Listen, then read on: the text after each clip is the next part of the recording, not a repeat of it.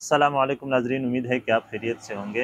एक सर्वे में पढ़ा था कि जब 80 साल से ऊपर के लोगों से ये सवाल पूछा गया था कि अगर दोबारा से उनको जवानी दे दी जाए तो वो क्या करेंगे? तो उनमें से अक्सरियत का जवाब ये था कि अगर जब दोबारा से जवानी मिल जाए तो हम ज़्यादा से ज़्यादा रिस्क लेंगे। कोई भी कारोबार, ज़िंदगी के किसी भी डिसीज़न में ज़्यादा से ज़्यादा रिस्क लेंगे हम लोग। तो क्योंकि रिस्क जो है ये एक माइंड सेट का नाम है। आप जितना रिस्क टेकर होंगे, आप उतना आगे जाएँगे। अगर आप ये चीज़ों से डरते रहेंगे जी कि अगर मैंने ये किया तो ऐसा हो जाएगा। नेगेटिविटी हमेशा नेगेटिविटी सोचना। अब सिर्फ़ कारोबार में नुकसान का सोचना कि भाई, इसमें नुकसान हो जाएगा, इसमें नुकसान हो जाएगा, इसमें नुकसान हो जाएगा। एक और बात बताता हूँ जो प्रैक्टिकल है कि मेरा एक दोस्त था मुझसे एज में बड़ा था और पहले से भी एक कारोबार चला रहा था। तो सात सौ तीस रुपये का आटा था उस वक्त जब उसने मुझसे मशवरा दिया था। मैंने कहा, देखें जी, महँगाई तो होती रहती है, हर चीज़ महँगी होती जा रही है। सात सौ तीस का था जब मैं छोटा था, मैंने डेढ़ सौ का भी आटा ख़रीदा था, एक सौ नब्बे का भी ख़रीदा था। लेकिन आज सात सौ तीस का मैं खुद बेच रहा हूँ तो ये तो आगे बात जाएगी। उसने कहा, नहीं जी, सस्ता हो जाएगा, ये आर्जी महँगाई है, ये ख़त्म हो जाएगी और एक ये लीडर ये कर देगा, हुकूमत ये कर देगी। भाई, आज आटा तीन हज़ार पे चला गया है, सस्ता तो नहीं हुआ। लेकिन अगर वो उस वक्त रिस्क ले लेता तो बग़ैर ज़ख़ीर अंदोज़ी के भी आज वो है ना लाखों करोड़ में जाता।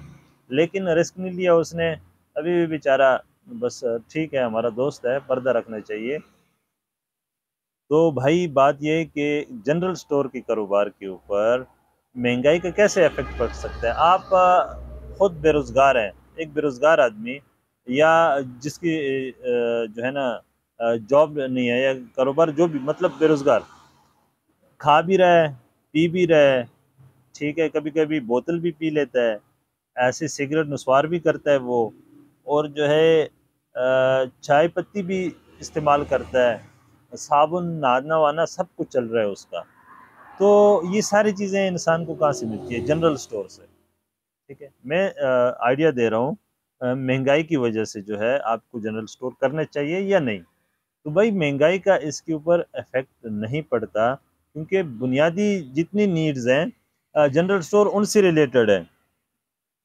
कि आटा है, चीनी, चावल, दालें, बच्चों का दूध लॉलीपॉप बिस्किट टाफ़ी बबल ये बच्चे कहाँ छोड़ सकते हैं?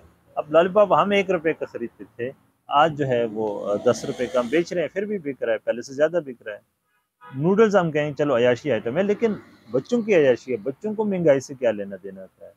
अगर एक चीज़ हज़ार रुपये की हुई लॉलीपॉप हज़ार का भी हो जाए ना तो बच्चों के ऊपर तो महँगाई का असर नहीं उन्होंने थोड़ा अपनी जेब से खरीदना है उन्होंने तो जेब वालिद साहब की जेब से निकालना वो, वो निकालना वो जानता है कि किससे निकलवाने तो भाई जनरल स्टोर का जो काम है सर्दी गर्मी पूरा साल जो है अमन और जंग ऐसी जो है महँगाई या सस्ताई इसके साथ इसका कोई ताल्लुक नहीं है। हाँ, कपड़े का कारोबार है।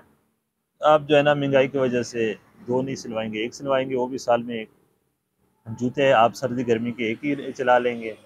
ऐसे और बहुत सारी चीज़ें घर के जो आप एक ही दफ़ा ख़रीदते हैं और बहुत अरसे बाद दोबारा से उनको ख़रीदनी पड़ती है। लेकिन जनरल स्टोर में आपको रोज़ जाना पड़ता है। आप खुद ना जाएँ आपके घर के किसी फ़र्द को जो है ना जनरल स्टोर जाना पड़ता है।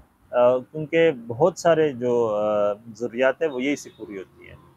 तो भाई अगर आपके पास इन्वेस्टमेंट है, पैसे मौजूद हैं आपके पास, और लोकेशन अच्छी सी आपने देख ली है, अगर पहले से एक्सपीरियंस नहीं है तो पंद्रह बीस दिन का एक्सपीरियंस भी ले लें तो भाई इसको शुरू करें। क्योंकि डिमांड आप लोगों की पूरी कर रहे हैं। लोग शुक्र करेंगे कि आपने उनके मोहल्ले में दुकान डाली है। बाकी सारे स्ट्रेटजीज जो है, अगर नहीं पता तो हमारी कुछ वीडियोस बनी हुई हैं, उनको भी देख सकते हैं। लो प्राइस रखें कंपटीशन कैसे मीट करें और जो है चीज़ें कहाँ से ख़रीदें। तो ये सारी चीज़ें जो है ना आपको हमारे इस चैनल के ऊपर मिल जाएँगी। कहने का सीधा सीधा मतलब ये है कि रिस्क टेकर बने। मेरे ज़्यादातर व्यूअर्स जो हैं, वो 18 से लेके 25 साल की एज के हैं। तो भाई अपने ऊपर रहम करें, काम की तरफ़ आए। तो जितना मेहनत करेंगे, उतना रिटर्न मिलेगा। मैनेज करके चलाएँगे इन ज़्यादा फ़ायदा होगा। तो हमारे इस वीडियो को भी लाइक करें और चैनल को भी सब्सक्राइब करें। और जो है, हम अगली वीडियो तक इजाज़त दीजिए। अल्लाह हाफिज़।